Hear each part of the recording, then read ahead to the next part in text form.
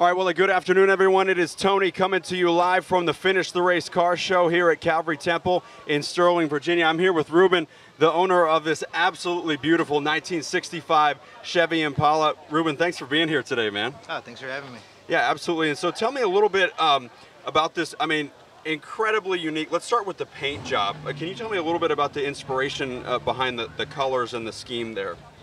Uh, well, I'm, I'm a fan of custom paint, but not some not, nothing that's too loud. Yeah. Right. So, the, the paint job is probably my favorite feature of the car because it's it's got kind of ghosted features. It, it's subtle. And, uh, and it's got the roses. My uh, my grandmother's name's Ro uh, Rosalina. My aunt's Rosie. So Perfect. roses are kind of a thing that runs through. in, in your family. family. That is too cool. And um, tell me a little bit about the motor. What does it have under the hood here? Uh, 454 big block.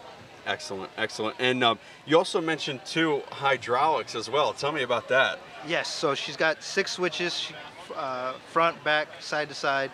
Um, I can pancake her, which means all all four tires down at the same time. So cool. Um, and then each individual back tire.